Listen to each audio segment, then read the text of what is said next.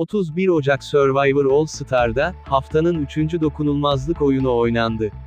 Eleme potasına girmek istemeyen ünlüler ve gönüllüler takımı yarışmacıları, dokunulmazlık oyununda kıran kırana mücadeleler verdiler.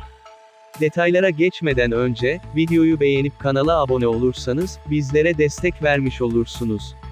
31 Ocak Survivor All Star'da haftanın 3. dokunulmazlık oyunu oynandı. Zorlu engellerin olduğu dokunulmazlık oyunu parkurunda, yarışmacılar engelleri aşıp parkur sonundaki atış noktasına ulaştılar. 4 çubuğa halkalarla atış yapıp, rakibinden önce çubukları deviren taraf, takımına sayı kazandırmış oldu. Dokunulmazlık oyunu, kadınlar eşleşmesinin ardından başladı. Zorlu parkurda kıyasıya mücadelelere sahne olan dokunulmazlık oyununda, kadınlar müsabakasını ünlüler takımı kadınları, 8-1 skorla kazandı. Böylece durum, 1-0 oldu.